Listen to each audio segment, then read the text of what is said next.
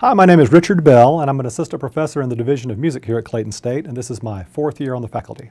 Walking on campus at Clayton State is just a wonderful aesthetic experience. It's a beautiful campus. We have the, uh, the trees, the lakes, the waterfowl, and then walking in Spivey Hall is equally beautiful. So, you know, whether inside or outside, it's just a wonderful place to, to see and to be around.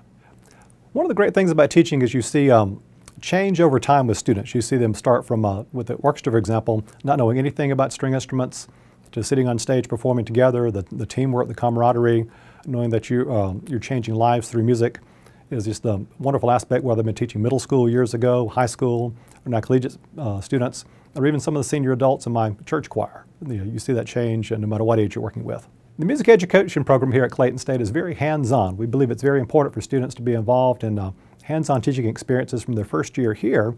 Uh, we have several opportunities for that. We have a youth orchestra we house here on Thursday evenings for our students to be involved with. They're involved obviously in the local schools, and also they go to the Atlanta Music Project for observation and working hands-on with these students. And they come back and write their reflections, and they see the potential for life-changing experiences these students have. After talking with the Atlanta Music Project people and trying to get, um, get something for the students to look forward to um, after, after high school, we began working with the University Foundation here and with uh, Dantes Rameau, the executive director of the Atlanta Music Project, to put together um, a scholarship program that would be enticing for these students to um, continue their education after high school.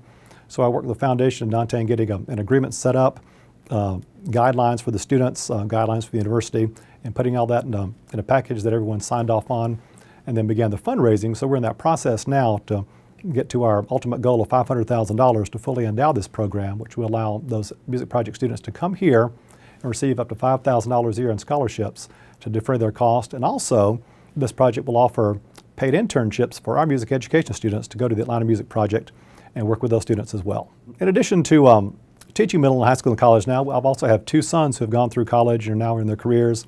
And seeing the fact that they were um, able to do, um, to do that uh, without really any financial hardships. And I see the students that are coming from the Atlanta Music Project and the high cost of college we have now and just the, the desire they have to go to college but without the uh, economic resources to make that happen. So it's just uh, very important to me to make that happen for these students. They're as hardworking, as intelligent, um, and have just as supportive families as anyone else. So if we can add that extra piece to the puzzle of uh, a scholarship, it'll be amazing to see the uh, success they have in college and in their careers.